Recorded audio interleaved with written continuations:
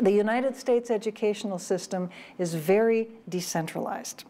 And it is also, therefore, highly politicized. School boards are elected.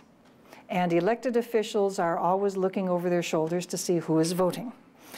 And as a result, in the United States, more than just about any place else, we have a school system which, um, in which the people responsible for major decisions are not always paying as close attention to the issues that those of us in education and science and other disciplines would like, but they are looking to see who is voting.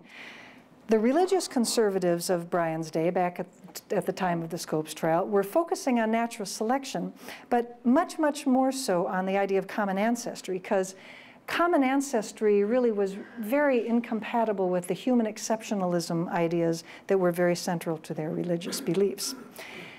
Bryan made three arguments during the Scopes trial. And when I read these in um, Ed Larson's book, many, many years ago, I was struck by how modern they were. Bryan said that evolution is unsupported science. Scientists are giving up on evolution. Bryan said that evolution is incompatible with Christian faith, and Bryan also argued that citizens, not experts, should determine the curriculum. Those of you who follow the uh, science and uh, history standards wars in the great state of Texas might recall school board president Don McLeroy saying a couple of years ago when the science education standards were being developed, someone's got to stand up to experts. so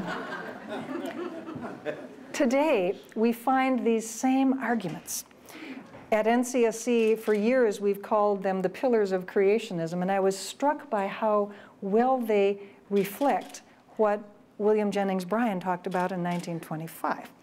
There are many, many euphemisms for this evidence against evolution approach. Critically analyze evidence for evolution, as we saw in Ohio, evidence for and evidence against evolution, strengths and weaknesses of evolution that we argued ad nauseum in Texas.